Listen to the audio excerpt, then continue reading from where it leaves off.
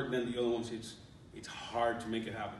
Uh, and then the great thing is that we have a, a great team of, of, partners that are invested in what we do. You know, from lawyers, CPAs, insurance agents, title companies, private lenders, banks. That's a big one, uh, etc. So from that perspective, you get the whole you know process in place that from when you from the outside, all you have to do is, hey, you know, here's what I'm looking for. Here's kind of my return target.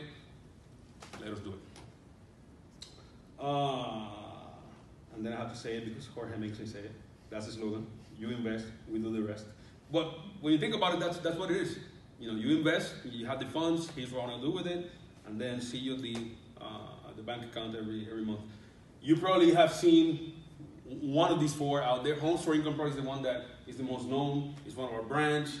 It's where all the social marketing, social media marketing is done through. So you probably have seen the homes, the number four income out there, but then those are the other basically brands that we have